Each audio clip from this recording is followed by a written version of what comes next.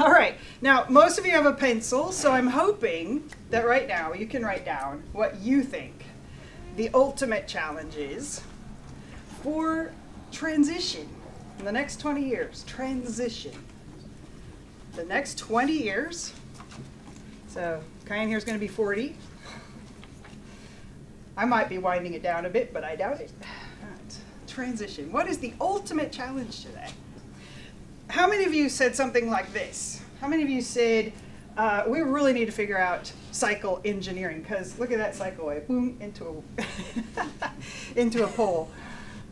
Um, yeah, how many of you said traffic? Streets? No? Okay. Well, if we're going to go from 3% cycling to 50% cycling, which is basically the transition path for the next 20 years, it's going to be a big change. We're going to have to figure that one out. How many of you said this? How many of you said something like environment, agriculture? Okay, we got one on there. How many of you said 50% fewer cows? Because that's actually the nature of that challenge of managing the environment through a transition to clean water again. How many of you said something about population? All right, I got a couple of those. How many of you said uh, managing that 20, uh, 2 billion person decline in population? Because that's pretty much the, the transition for the next couple of years is from, is from the, the, the pattern of growth to, to the pattern of um, population slowdown and decline. How about energy? How many of you said something about oil? All right, we got a couple of those, yes. And how many of you said managing on 50% less fuel overall. And for things like personal transport, probably no oil for that. We, we got that? Because that's the transition over the next 20 years. All right, so let me tell you a story. Let's talk about this. Let's talk about um, a little story that uh, I heard for the first time when I was a, an undergraduate at University of Colorado Boulder from Professor Albert Bartlett. Um, it's a little practice in mathematics, right? That, that at nine o'clock in the morning, I put one bacteria in a jar full of food. Bacteria doubles every minute. I can tell you from experience that at noon the jar is full. So at what point is that jar half full? 10 o'clock. 10 o'clock? 11 o'clock? There we go, one minute before noon. And in 1983, when I first heard that lecture from, from Professor Bartlett, um, it got me too. and he says this is, you know, he's passed away now, but, but he, he says this is the challenge for us, the ultimate challenge, is to understand that very simple question that for three hours there was no problem. And then in the last minute, there was no hope. And yet with simple math, we can understand that. right. So was did anybody write down resources as the ultimate challenge? And in the context of resources, the next 20 years, the transition is the end of growth. That way of thinking has been patterned on us because of the three hours that we've had, not because of the reality of our situation. All right. Um, let, me, let me tell you another story about the great global experiment on what happens if you take a solid and you react it with a, with a gas and then you release it into an atmosphere. And we have a model for how that might work. And then we have um, the data that we've taken, and that fits a very nice um, linear trend. And so therefore we can figure out that 100 gigatons of solid fossil carbon um, burned with oxygen from the atmosphere raises the parts per million in the atmosphere by, by 20 parts per million. And there's a lot of complexity in that because there's lots of things happening in that system. But that experiment pretty much speaks for itself. So, I'm going to tell you about a system, and this system is very useful. I'm going to use a bridge. It's got, it's got a lot of complexity. It's got different parts. It's got different materials. It's got different loadings on different parts, and it's, and, and it's been put together different ways. It's got some safety features. It's got some lighting. It does all sorts of useful things that most of us take for granted most of the time. We just use it. Don't think about it too much. And what we know about it, looking at it, is that it has a safe load limit. It does indeed. And if we push it past that, we all know what a safe load limit means, don't we? It's like, don't do that, right? So for a lot of generations, really, for um, probably what looks like maybe eight generations of my family, people didn't worry about it very much because we weren't even anywhere near that safe load limit. And then about the time that I was born in the 1960s, we had loaded it up a bit, up to 310 parts per million. And by the time I graduated from high school, we had, uh, we had loaded it up some more. And when I went into engineering as a freshman back in the 80s, um, I went into it for that reason because it looked to me like it was time to do something about that. this is looking pretty dangerous, you know? Uh, the science is, is pretty clear that we're changing things and that the rate at which we're doing it now is pretty impressive. So from then till now, we've, we've been quite impressive. And yes, we've exceeded that safety limit. And yes, we have changed that system. And I can't tell you exactly what we've done to it. I can't tell you exactly whether it's a spiral fracture of a column, or whether it's an undermining of a foundation, or whether it's just now more susceptible than it used to be to things. I can't tell you exactly, and neither can anybody else, but I can tell you what you've done. And it's done now. And it's not a problem of the future anymore. It's done. So what's our next trick, really? You know, if we can't communicate through telling you what a safe limit is, then what should we do next? Well, how about we tell you about the, the load to failure? Would you get that? well, really, we mean don't do this, okay? Really, don't do this.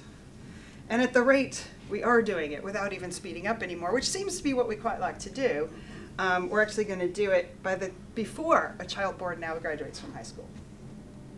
Probably before I even get grandkids. We will have done what's, what's rather an unthinkable thing to do. We will have broken that and it won't work anymore for what we want to do with it.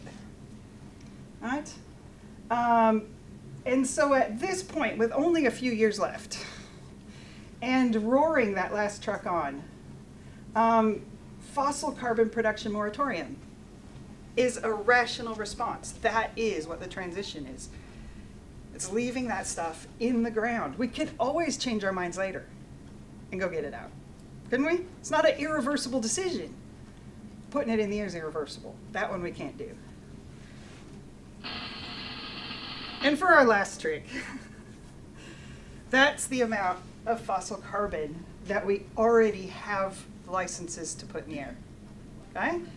So there's a little bit of, of a sort of unthinkability there that, you know, you, you, you think to yourself, well, well, that can't be, right? Somebody would do something. Uh, it, I, just, I just don't get that. And yet, that's just the numbers that, that are. That's without going up into the Arctic to get more. That's without fracking anymore. That's the stuff we already know where it is, and we're already committed to getting it out. So that's an interesting thing. How many of you put down something like this for your ultimate challenge, right? How many of you put down um, climate change? Maybe the challenge of the transition over the next 20 years of getting back down to 1990 levels like we said we would before didn't do it, but you know, now we'll do it. Did I put that down, climate change? No? Well, okay. I sort of thought somebody would. But what I'll tell you is that those 1990 levels uh, get not only the last truck on the bridge, but a good chunk of, of, the, of the big one. All right? So not even that, that thing that we couldn't do before, not even that is going to do it. So let me tell you a little story. You remember that, that big meteor that hit Russia recently? And then there was a near miss that swung by. And, and, and you're thinking, well, that's interesting, right? And NASA's like, well, that's okay. We're tracking them out there. You know, we're watching them. Well, a meeting of scientists from all, all you know, from all the countries, um, and the astronomers are looking, and they're like, yeah, we saw that one too. Yeah, did you see that one? Yeah, we saw that one. What does your model say? Yeah, that's what our model says too. Well, we need to figure out what we're going to do about this. because it's inside the solar system, we've been tracking it, we know where it's going, and we know it's a direct hit with the Earth. And we know that it's the big one. It's that one in a hundred million year one. Right? There's, that's it, right? And it's 20 years away. So 20 years from now, that's it. Um, what are we going to do about it? Right? What are we going to do about it? Study it some more, maybe. I, no, I think what we should do is is we should think about actually doing something about it, right? We know how to put vehicles into space. We know how to drive them around out there. We know how to actually intercept comets. We've done it. You, you heard about that, right? They sent a probe and it took samples from a comet. This is a moving target. That's pretty cool. We can do that. And we've got lots of extra nuclear warheads. So surely we could do something to this thing. Now, we don't know what it is we could do because we don't know.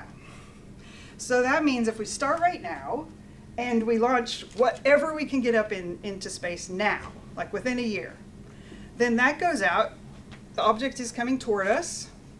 We send out, that means 10 years from now, we will find out something very important about this thing, right? But only if we launch it now.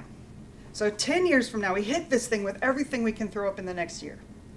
And we've got lots of probes looking at it, and it's closer, so we can see what's going on. We can see maybe, does it have some ice, or is it the iron that it looks like it is?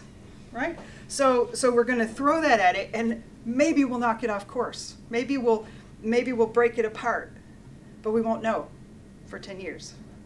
And then if we don't, we've got to have another one coming behind it, and we can learn from what we did, and we can give it another hit and maybe we can see something more about it so we can you know place that next one and after a year of building that first one we'll be better at it and we'll, we'll build another one and then the next year we better have built another one too and the next one so we got 10 years at least of full out you know planetary scale mobilization to try and stop this thing to try and save the planet and what we're pretty sure from everybody's agreement is that even if we throw everything we've got at this something is still going to hit the planet. Or at least we can't say that it won't, right? We just don't know. So in 20 years, something massive is going to happen. So it's not just the extraterrestrial problem we have to think about, it's here on this planet. We won't know where it's going to hit until right before it hits, you know, a year or so. So whatever we do now, we have to be thinking about mobility because somewhere on the planet, somebody's going to have to evacuate a very large region, and they're going to have to have somewhere to go. And if it's going to hit in the ocean, there's going to be tsunamis of a scale we can't understand. Okay? And then what it does to the planet, if it hits in the Sahara and throws up a whole bunch of sand, we could have uh, quite a few years of no harvests. If it hits in the ocean, you know, other things could happen. It throws up a lot of moisture. So, so we know from paleontology that, that these things have happened in the past, and we know what they've done. So from now on, for 20 years, we've got to start planning for how we're going to survive that. Seeds, um, understand soils, get to planting the forest back so we have wood for fuel. You know, there's a heck of a lot of work to do. Um, and on top of that, in order to do this mobilization, if you look at it, the factories we've got to change over from cars, the, the massive project that we have, you know, like, like getting a man on the moon, that was a huge allocation of resources. A lot of people thought maybe we shouldn't do that. But it, it's like that, but times 500, right? So essentially, we're going to have to crash our economy. We're going to have to cut back our oil use, our material use, no more iPods. Those engineers who are now making cool computers, they got to be working on this. We got to gather up all the talent we've got. We've got to put it all into this. So the consumer economy, um, the use of oil to drive around, uh, Rarotonga vacations, it's over, right? For the next 10 years, it's this or nothing. Because plan B is we don't tell people.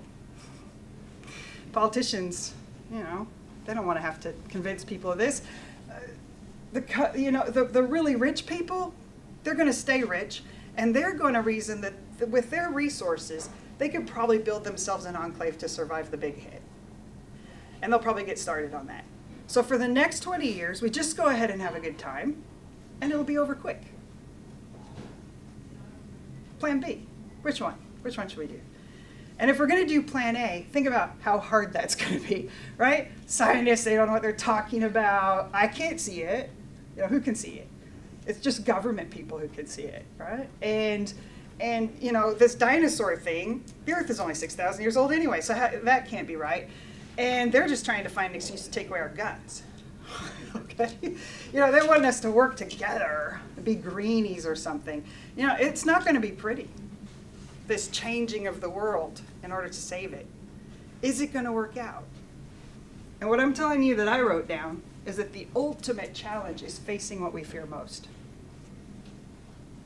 This scenario of assured destruction, if we don't do everything we can right now, if we don't give up things, and, and is it giving up things? That's the question. Because the more we talk about it, the more we understand that, well, you know, putting all of our thoughts into how to do this thing, that actually is a lot of jobs. and putting our efforts into how to reorganize ourselves so that we're much more resilient, that, that's actually a lot of good work. So, is it the end of the world to save the world? Is it really? And that's the ultimate question. Are we willing to do it? It's a hard question. And I'm answering it in a sort of interesting way that when you have a very large challenge, like aerospace, like electronics, like medical imaging, usually there's a, there's a, a type of engineering that, that sort of emerges to be able to do that.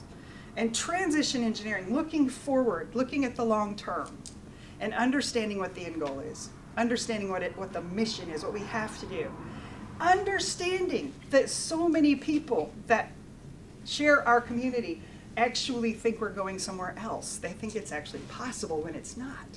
So we have some communication issues. And we have to actually demonstrate the value of saving ourselves. you know, most engineers, you don't have to do that. You go, look, cool widget.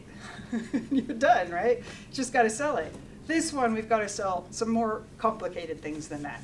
But the process of doing it is actually doable. And I'm going to show you pretty quickly, without a whole lot of discussion, some of the projects that I work on. If this is going to happen at all, if we are going to have a transition, that 20 years from now we haven't left it too late, that we did what we had to do right now and it worked out okay, the oil companies have to transition first. Who has that last truck? Who's going to do what with it? That's them. How can they make more money saving the planet than cooking it? Mm-hmm. Question of the day. Is it possible that by shutting down their deep sea drilling operations, it would, they would save a lot of money and still make the same money? Actually, yeah, that's true. Is it possible that by lowering their production, the price of oil would go up and they'd actually make more money? Oh, yeah, that's kind of true. All right, transition the oil companies. How about transitioning cities? Working on a big project in Christchurch right now. And it's not it's not so much about vision or anything like that. It's about engineering. What do you change in a city right now to get the fabric of a city that was wiped out by the monoculture of personal vehicle design? How do you transform a city back into a human place, a productive place, an action place, a vibrant place? How do you do that and make money at it? Right? And everybody's involved in it? That's a pretty good question. How about transitioning transportation? The end of the truck is in sight, right? If you're going to move goods around your country, you'd better have a good functioning rail system. How are we going to do that? It's all, uh, not how, that's not hard. We, we know how to do that. Choice, A or B. Which one's it going to be? Good question. Maybe, maybe modeling would help. Maybe showing how it will work. How about transitioning buildings? Again, we know how to do it. Maybe we don't know the business plan for how to do it. Maybe we don't have enough people in business um, actually practicing it. And maybe we need some better policy. But the house on the right has been retrofitted, the house on the left hasn't, or housing block. And you can see the difference. It's not hard to figure out how to do it, but this is what's hard. No new buildings. There isn't room for more buildings. Every building has an energy footprint and a resource footprint. I don't care if you told yourself it was zero something. But if you haven't taken out an old building, if you haven't replaced it with that good new building, then you've added to the problem no matter what it was you added. Okay? So everything is in the context of rebuilding, redeveloping what we've already done. That's what transition is. It's looking honestly at what we have already done, what we are doing, and changing that not dreaming about a new thing that we pile on top of the mess we've made. Land, yeah, a lot of that needs transitioned. Um, the way that we use agricultural land is um, not sustainable. That all needs to be rebuilt. And our, the way we use urban land is, is, is pretty far out there in, in what's going to be sustainable. It's not, it's not working very well. But that can be fixed. And while we're at it, there's so much land that's now paved. It's not doing anything. It's not producing anything. It's not a place for anyone to go.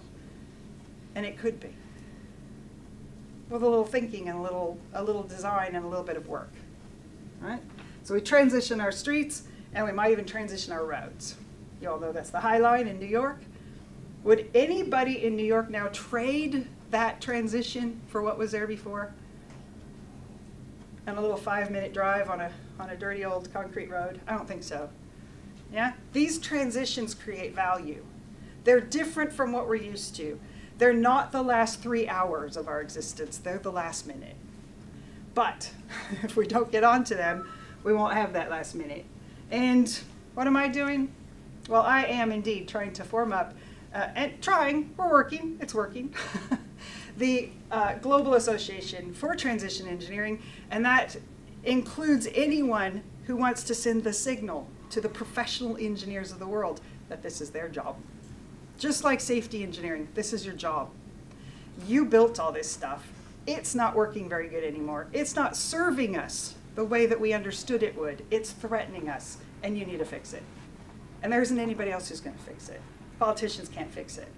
The people who built it, who understand it, who understand what it costs to change it, who understand the value in the changes, who can show that to you, who can model it, who now have the means to do all that work, they have to get onto it. And right now, there's 330 of us worldwide. And safety engineering started with 60. And safety now is quite different than it was 100 years ago. It's now everywhere. You don't have to be a specialist in safety for it to benefit you. You don't have to have a dedicated safety engineer in your group for safety engineering to be saving lives in your factory. You don't have to have a dedicated safety engineering specialist in your family for your family to be safe in fires because of safety engineering. Okay?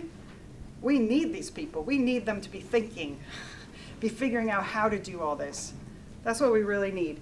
And um, I've put down the tenets that uh, a group of us, when we met in the, in, uh, the UK last year, we decided on the tenets that are really important uh, for people who sign up to be to say, okay, I'm a chemical engineer right now, but I, am going to be a, a transition engineer now.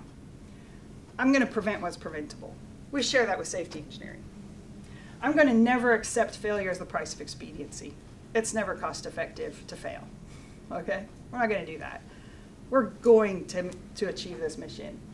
Um, and our mission really is singular. Everything else follows from it. We either do this or we don't. We either do everything we can to stop that object from reaching its target or we don't. And that target is 1,700 gigatons of fossil carbon stays in the ground. If you can face that idea, I know it's hard.